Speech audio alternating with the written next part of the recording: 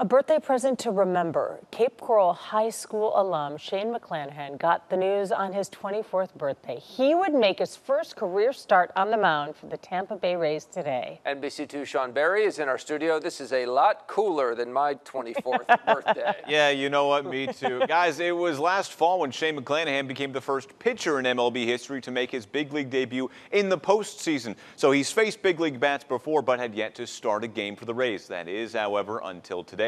And here's how his first career start went. It's going to be left-hander Shane McClanahan. Just one day after his 24th birthday. I mean, it could have happened earlier, but obviously it was a pretty good birthday present. Cape Coral native Shane McClanahan made his first career start for the Tampa Bay Rays. I was more nervous uh, before the game than actually being on the mound. It's like once you're on the mound, everything just kind of takes care of itself, and you know you actually get to do what you what you want to do. So there's no more nerves or anxiety or anything. The hard throwing lefty, ranked as the 75th best prospect in all of baseball currently, wasted little time filling up the strike zone. And a cut and a miss.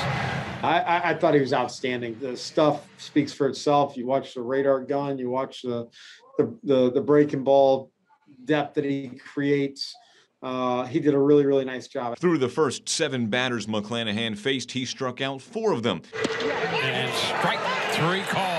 As his fastball was clocked in the triple digits several times. And the one-two, he fires it by him at 101. You know, there's a lot to go forward on, and you know, just make some improvements. Made some good pitches, you know, made some mistakes, and it's a good starting point, you know, to work forward from. And all of this with his parents and sister on hand to watch his first career start.